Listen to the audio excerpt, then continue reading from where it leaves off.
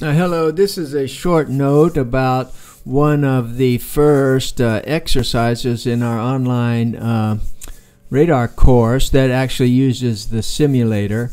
There, there may be earlier ones, but uh, this is in one of the first quizzes. It's uh, quiz 106, and it's I'm going to just illustrate the first two of this type, uh, 11 and 12 uh, question 11 and 12 where we're measuring um, the range and bearing to a target, a radar target, using the uh, electronic bearing line and variable range markers.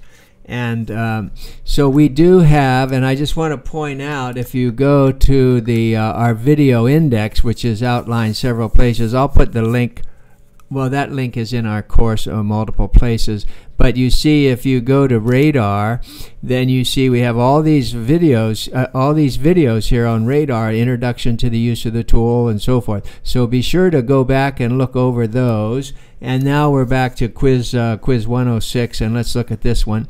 And so what it tells us to do uh, for questions 11 through 15, we're going to load scenario uh, Plymouth Sound, UK, and then after it loads, we want to immediately stop the vessel.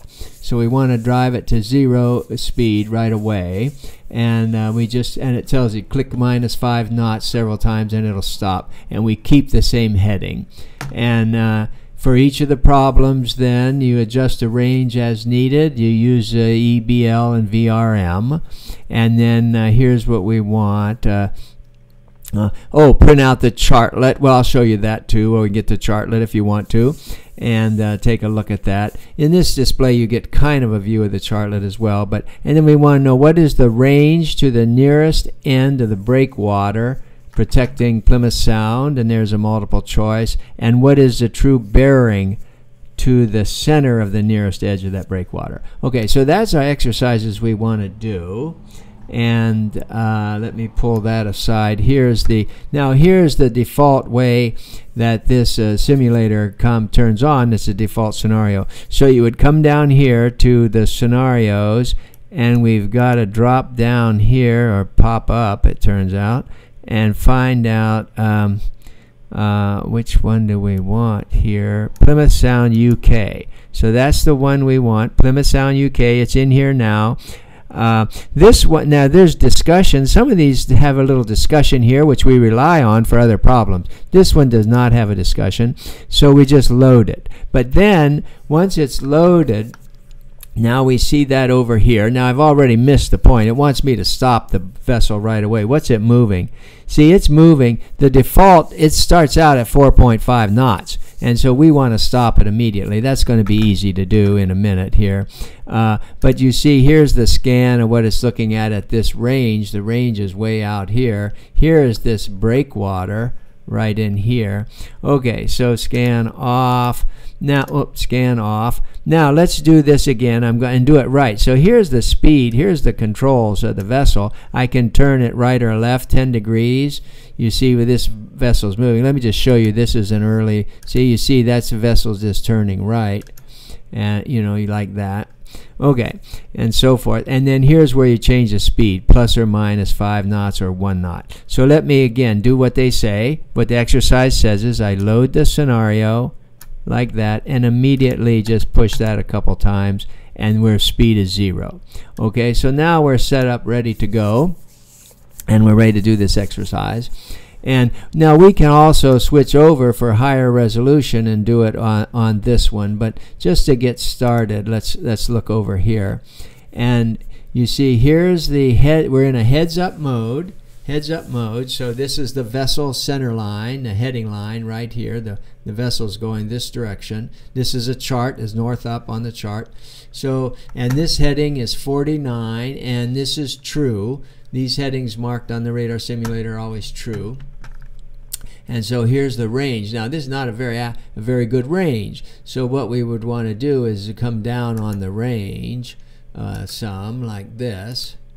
Let's see, can I go that low? Yeah, 0.5. Now see that head, there's that headland. Let's go back a bit so you get oriented here. You see this Remember, I'm looking this way, so you have to imagine you're looking out the window straight ahead this way and off on the right uh, you see this headland, and that's this right here. So that's that. If you want to see it in the scan, you see, um, you can see it bang right there, you know, right there, something like that.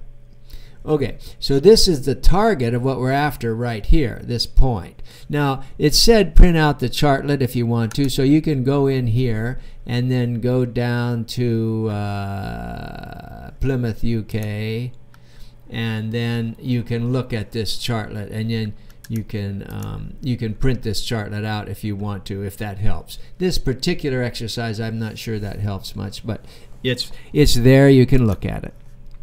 We just want to measure the range and bearing. Okay, and we're 5, and it looks like we, oh, that's 0.75. Let's go see if we can get closer. 0.5, see, that's pretty good. Can I go closer? No. This range now, you see, look over here. My range is too small, so I'm not, I'm not reaching out far enough with the radar range to actually see the thing. So I have to go up one now you see I'm, this thing is in view over here. So I've just increased the range of the radar. And that looks like the one we're going to have to use right here at 0.5. That's the best we've got. Now if I want to, I can go back over here to this view, which is going to give me higher resolution. It looks more like the radar.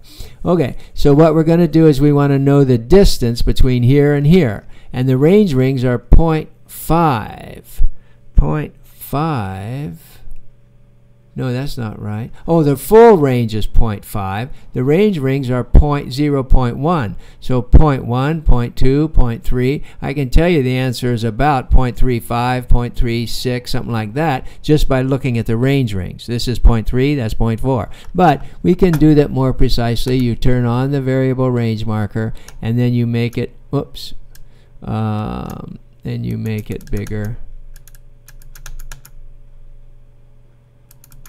It's about there. You see, there's the variable range marker, this one right here, and it's sitting there. I've got 0.36. Uh, 0.36 is what I've got. So that would be my answer to that one. Now, I can uh, shut the variable range marker. Now I want to know the bearing to it. And the bearing, we would just turn on the EBL.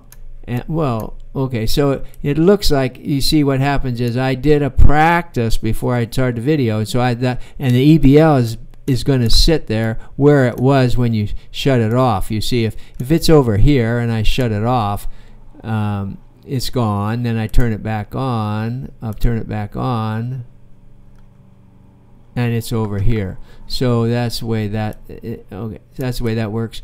So I come over here and it asks me for to the center of the end of that, and so that's that bearing, something like right there.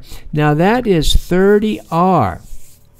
So keep in mind, my vessel is headed in direction 49, 49 degrees, true, and this bearing here is 30 degrees to the right of me. So the actual answer to the question is uh, what is the true bearing to that? It would be 30 plus, uh, you know, or 49, my heading, plus 30 is 79. 79, 079 true. So that would be the answer to that. And so that's to get you started on this quiz one, and I'll uh, end that there. And this will show up, I'll put this video, then will be another one that'll be in the list of video index.